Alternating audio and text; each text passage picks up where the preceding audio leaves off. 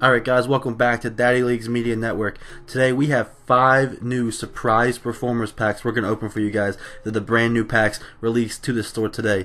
And as they state, they contain six player cards with three of the year's biggest surprise performers and also double the chance for gold and diamonds. So let's break it down now, start opening the packs and see what we got here. First pack.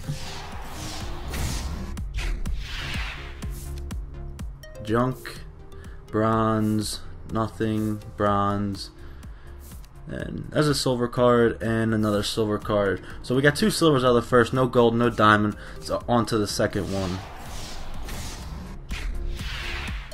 Junk, junk, junk, junk, silver, bronze.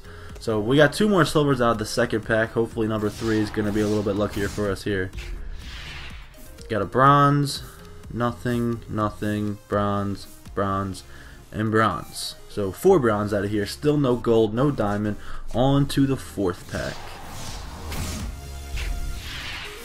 Junk, junk, bronze, bronze, bronze, and bronze. Another four bronze and two junk.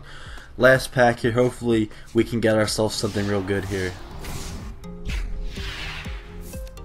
Bronze, junk, junk, a silver, bronze, we got a decent silver Tanner Roark out of that, so not too bad, but definitely not what we were expecting to get out of these packs. Anyway, as always, I thank you guys for watching. Make sure you guys come back next week where we will open five more new packs if they have them in the store, and we will see if we can get anything else. Once again, thank you guys. Make sure to subscribe to our YouTube channel as well as follow us at Daddy Leagues on Twitter. We will see you guys back here next time.